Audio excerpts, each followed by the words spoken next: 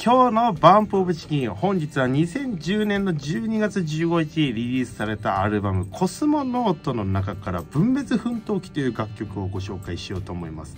これね、分別奮闘記はまさにその名の通り、ゴミの分別をモチーフにしてる歌なんですね。聞いた時なんかね、ゴミの分別をモチーフにする歌なんて、俺これ最初聞いた時何を言い出すんだって俺思ったんですけど、後々あの、インタビューとかでね、あの、こう情報を拾っていくんですけど、藤君がプロデューサーの MOR にシングル書いてくれって言われて、その時に藤君がめちゃくちゃゴミの分別にはまってたと。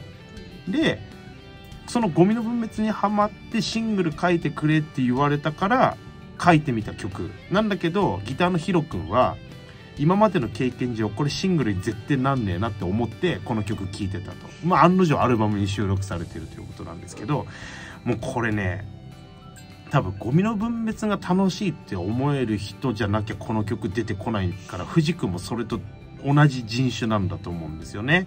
ただこの楽曲ゴミの分別に何を当てはめてるかっていうと夢というものを当てはめるんですよ。これすごいじゃんバンプって夢というワードに対しては例えば直視できないぐらいの眩しい光を放ってるっていう曲を作ってくる時もあればその夢というものをやっぱ追い続けることによってエネルギーがあるしとかっていう歌ってることもあるんだけどこれはその夢をゴミに例えてる。っていうのはまたすごいなとバンプって夢というものの重きを置き方がそのゴミということに例えられる思い切り方もできるんだなっていうのはすごいなと思うんですよね。で夢を諦めかけてる人に対して向けたものすごくこう勇気とか心が温まるような歌になってるなっていう感じなんですよ。もうこの夢を不要だと思ってつまりゴミだと思って手放そうとするんだけどうまく手放せないよねっていうそんな物語が、えーと、描かれてるんですよ。もう俺夢をのやめようかなとかって思ってる人ほどこの曲はズバリと刺さると思います。まあいつも通りバンプって登場人物が出てくるんですが君という人物が出てくるんです。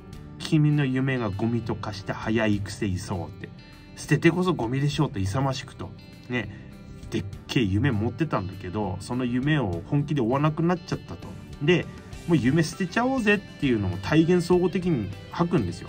で見るからにしぶとそうだ。絶対この夢は不念仏だ。よし指定された火曜日だ。よし出してやろう。って出すわけですよ。でも本当にそうなのか分かんないんですよ。不念仏だろうっていう表現が出てるからね。ただほっと一息する。ああやっと出せたと。ねこれどういうことか。思い切って出せたなと。つまりめちゃくちゃ思い入れのある夢なわけなんですよ。ところがどっこいですよ。だけど持っていかれてない。紙が貼ってあるぜ。何々燃えるゴミは月曜日と。分かりますか？本人的には燃えるゴミほど簡単に出せるものではないと思ったからおそらく不燃物だろう。それぐらい僕の夢はすごいものなんだよと。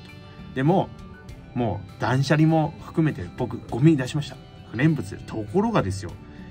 本当は簡単に燃やせる。つまり本当は簡単に消せるものだったんだよと。燃えるゴミは月曜日と言って跳ね返されたのはこれどういうことか。これがバンプからのすごい深いメッセージなんですよ。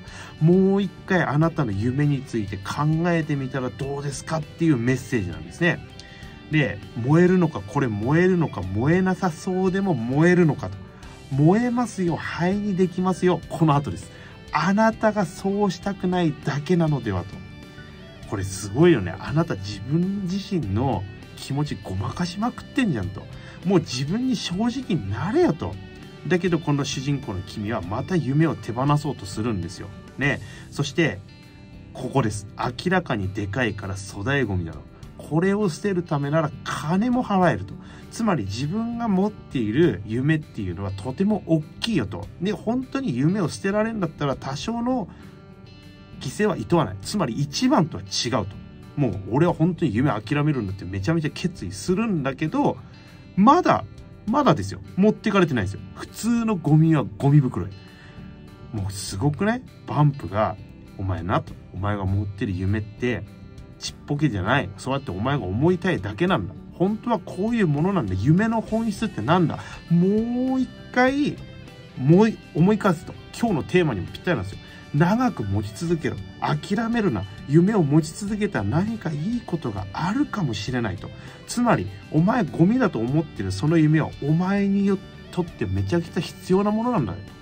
最後の最後。持っていかれなくてよかったっていうニュアンスも含まれて終わります。もうね本当に夢についてこれだけ考えさせてくれる内容をゴミに例えるとはすごく秀逸な曲だなと思います。